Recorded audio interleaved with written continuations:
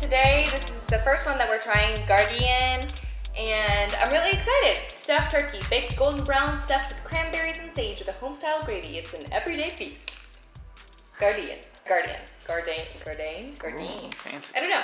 Anyway, this is what it looks like. It looks like a potato. But I'm really excited, and it comes with gravy. Here we go.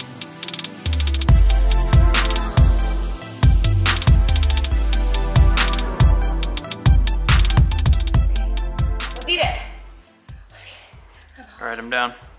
Oh gosh. it's beautiful. I have to like sit super low so that it can be in frame for you guys.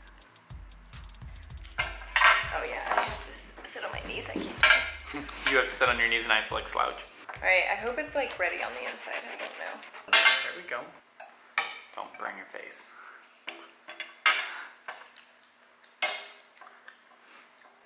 And That's really good. is it really?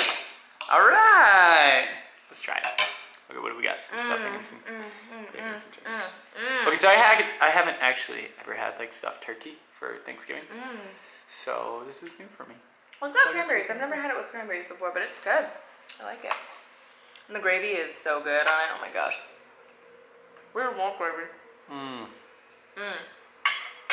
Mmm. Mmm. No, it's on my face. Mm-hmm. That is so amazing. That's so amazing. And the cranberries are delicious, which is super bomb.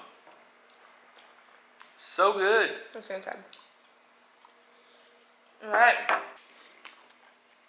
This is so good. I'm like, this. I feel like this is. This is Thanksgiving turkey. Mm.